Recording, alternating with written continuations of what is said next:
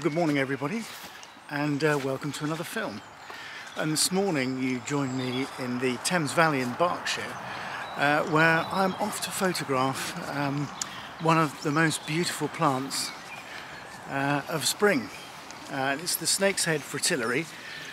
Now, this is a plant of ancient water meadows, and it was once very, very common uh, in the UK uh, before the Second World War. Um, but since that time, um, a lot of those traditional old floodplains and water meadows were ploughed up for food production. Uh, and that's meant that this plant is a lot rarer than it used to be. But there are various spots along the Thames Valley where uh, it, uh, it flourishes still. Uh, and I'm off to, uh, to one of those places. Uh, now last year I came here and I had the most amazing morning. Uh, it was one of those late frosts. I, sorry, I can hear a green woodpecker yaffling away in the background.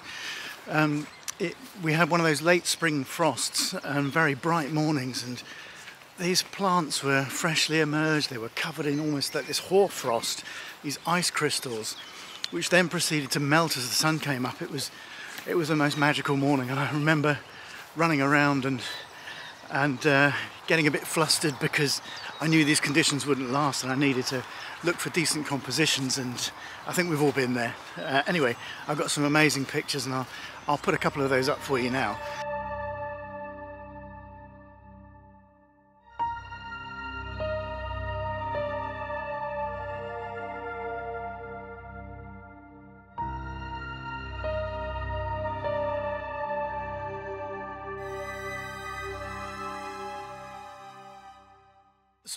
Very, very different uh, in terms of the conditions.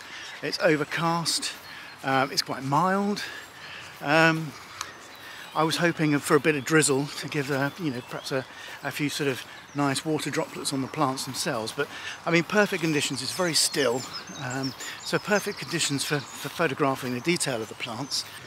So the kit that I got with me this morning uh, is the 105 macro, the 24 to 70, uh, and the 200 to 500 uh, with the D850. Uh, and uh, for those of you that saw my snowdrop video, uh, will know that those are the lenses that I use for that one. And I'll put a link to that video up in the up in the top of the screen here. So this is a plant that comes in two colour forms, uh, well here anyway. There's like a purple and then a white. And this particular field, there's actually quite a lot of, of white flowers. Mainly it's the purple that predominate, but I can see that there's quite a few in flower now. Um, so let's see how we get on.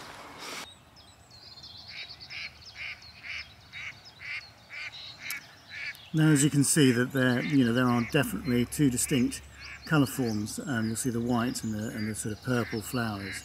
Uh, they're not as advanced as I thought they might be actually at this stage. Um, and there aren't as many as I remember last year. So uh, maybe I'm a tad earlier uh, than I was last year or you know, springs are, are different anyway, and uh, things emerge at different rates. But anyway, what we have got, um, because it's a water meadow, is some nice uh, moisture, which is leading to a lot of sort of dew on the flowers themselves and the grass. You can you can probably tell uh, from the shot. So, um, because the light isn't going to be as dramatic and the conditions aren't as dramatic as last year, um, I'm going to have a little bit more time to pick the right plant. Um, and this is where the 200 to 500 really comes in handy because what you don't want to be doing is lying down amongst these um, amongst these plants and crushing things around you. Um, so working on the edges of the field and picking out individual plants, you know, sort of 500 mil, um, because the, the, flowers are quite big, um, that lens allows you to do that. Also allows you to get lots of sort of separation in terms of very shallow depth of field at that sort of focal length at sort of f5.6. Um, so that's sort of what I'm looking for. I can shove loads of um, grass in the foreground as well to create sort of out of focus elements. So those are the sorts of shots that I'm going to be looking for this morning. Um, and uh, well, let's see if we can pick a nice plant and, uh, and uh, get on with it.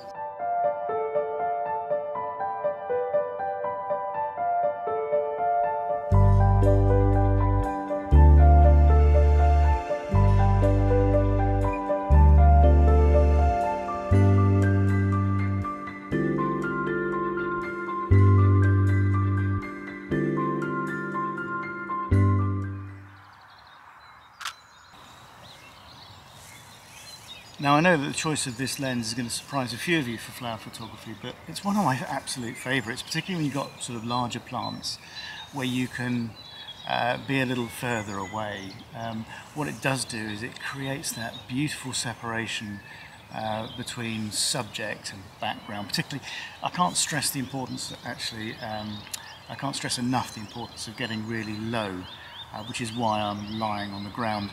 And that's the other advantage actually of the longer lens. It means I get, there's like a little path that runs along this field edge um, and I'm not crushing any of the plants uh, by lying here.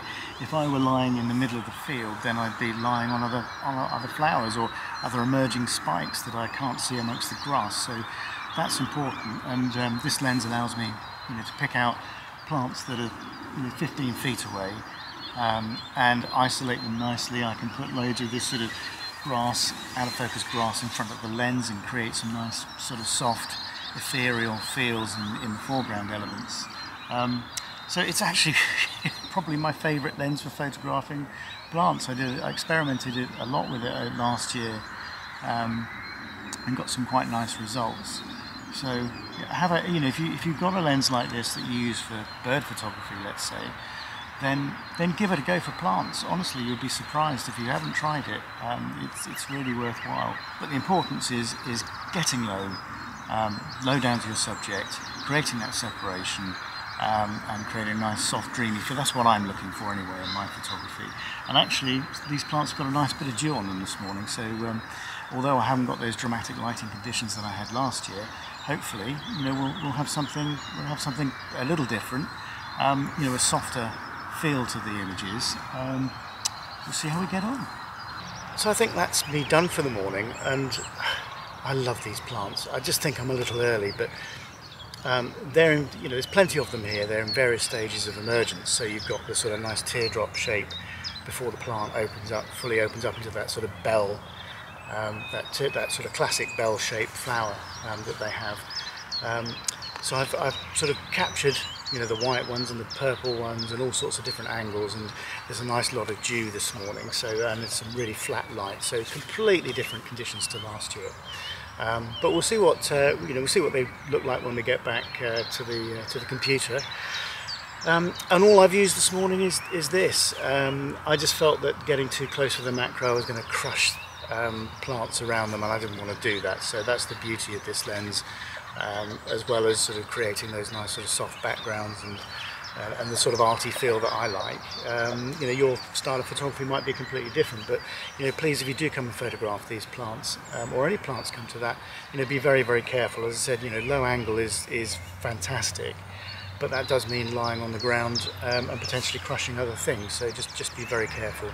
Uh, you know when you do it and you know so that's the advantage of a long lens um, is I can lie on this sort of um, this footpath down the side of the field and, uh, you know, not be in danger of doing that. So um, anyway, this is only part of the film because tomorrow um, there's a. Uh, I want to photograph another plant which flowers early in the spring. Uh, and it's uh, another rarity actually, um, and it's, a, it's another beautiful plant, but it's the first orchid uh, of the year to flower. Uh, it's the called the early spider orchid, and you found that you find that uh, on the uh, Dorset coast. So I'm off to Dorset tomorrow morning, uh, bright and early, uh, and I'm going to have Skye with me um, this time. So we'll, we'll see what see what happens there, and we'll catch up, you know, in the second part of this film.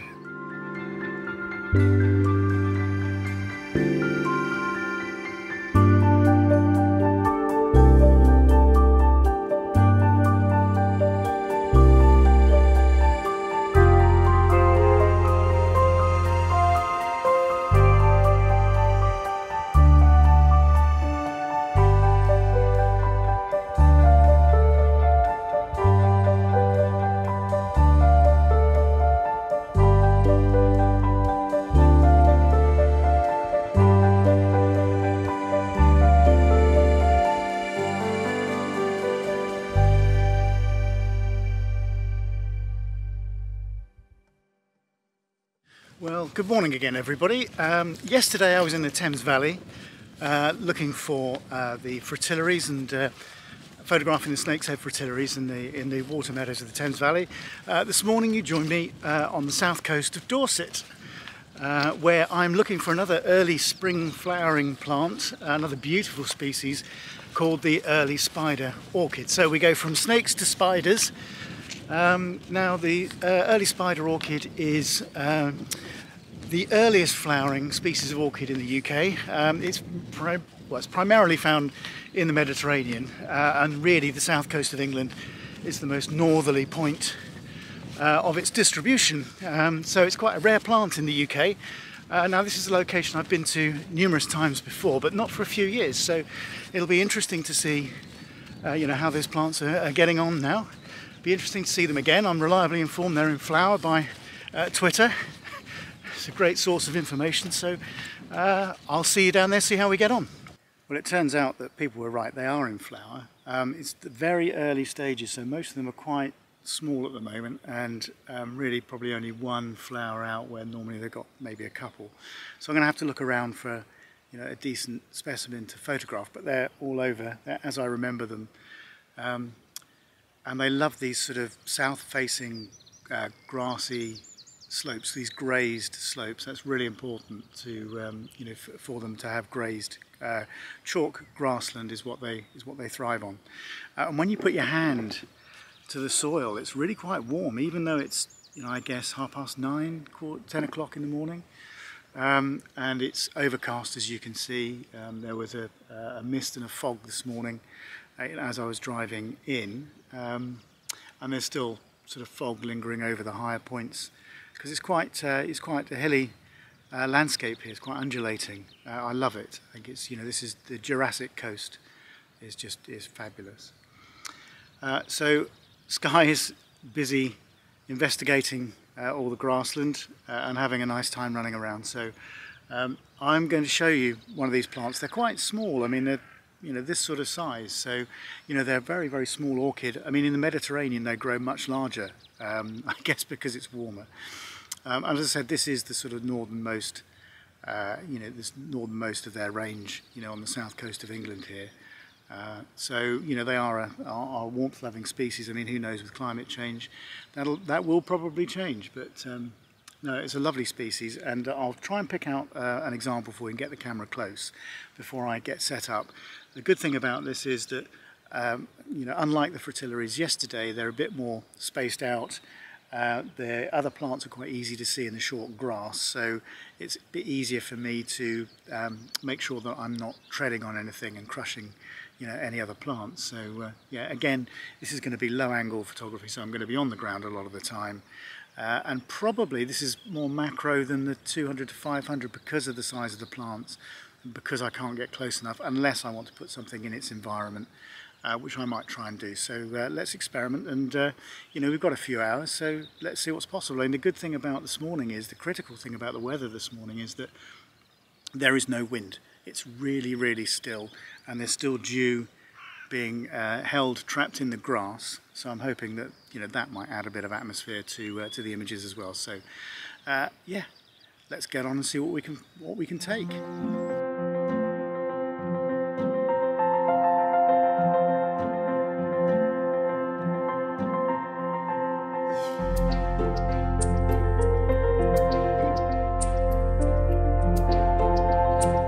Hopefully you'll see um, that. That's the orchid and I'll try and give you some perspective. Here's my hand, so that shows you how small this plant um, is and how delicate it is.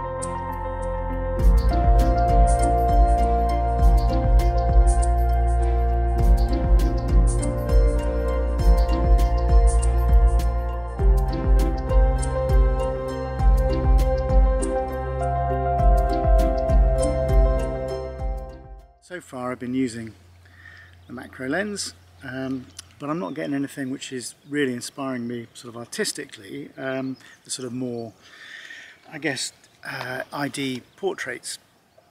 Um, I just can't get far enough away, I just can't get enough foreground interest, um, out of focus foreground elements uh, in front of the plant to try and create that sort of feel that I like and you'll have all, all recognised by now.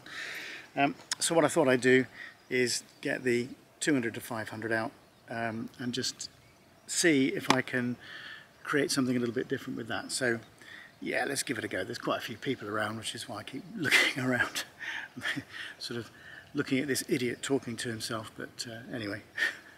Uh, yeah, let's put that lens on and, uh, and see what a difference that makes. The, the light is very, very bright. You can see me, I'm, I'm you know, beginning to squint now, uh, which means I can use handheld 100 ISO easily at the sort of apertures that I'm using and getting 400, 800, uh, 800th of a second shutter speed, which is, which is great, so I can handhold no fear of camera shake. So um, yeah, let's give the longer lens a go.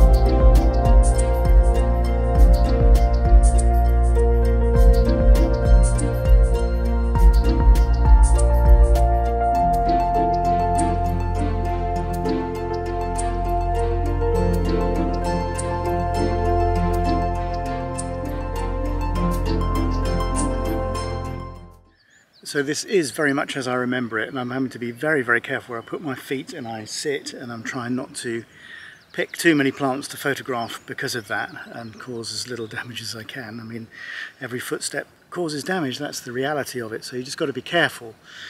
Um, but I just thought I'd show you something um, because I switched to the long lens I'm actually getting some much better results now in terms of uh, um, the artistic feel that I like. Uh, the macro lens is as I said it's great for portraiture um, being you know 105 it's probably not quite long enough you know in terms of focal length and there's not enough real estate because it's got quite a small area of glass in the front. Um, whereas the 2 to 500 much bigger area of glass at the front uh, much more real estate much more scope for me to put uh, objects in front of the lens to try and create that sort of out of focus feel. Uh, the problem with it is of course is the minimum focusing distance. Uh, get my words out uh, and you know I have to be a lot further back from the subject but it does give me the opportunity to put more things in front of the lens. So I just thought I'd show you something quickly with the with the camera. I'm gonna have to flip the screen around so I can actually see but um, I'll show you basically uh, the, the setup that I've got. So the camera as you can see is is on the ground literally on the ground. I said I've got to be very very careful. And if I take you through the scene, you probably see in the, in the middle there, there's just a little clump of grass uh, and it's higher than the rest of the, uh, sorry, somebody rolling down the hill um, in the distance, uh, distracted me, sorry.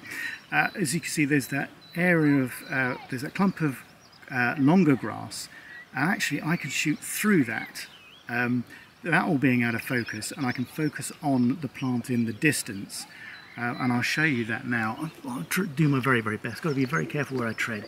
Right, it's very, very difficult for me to see uh, because it's so bright and I'm finding it difficult to see the screen. But anyway, there's that clump of grass uh, and I'll move forward a little bit and I'll show you the plant that I'm photographing. Um, so that's the orchid that I'm photographing and I'm photographing it through that, that clump of grass. Um, and I'll put that image on for you now to show you the effect that that has.